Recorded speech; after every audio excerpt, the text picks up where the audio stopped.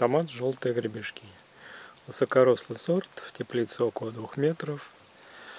Урожайный, вкусный, плоды среднего размера, желтого цвета с оранжевыми разводами.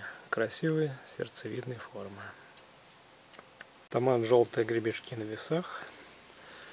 Вес около 200 грамм. Плод в разрезе, достаточно плотный, но в то же время сочный.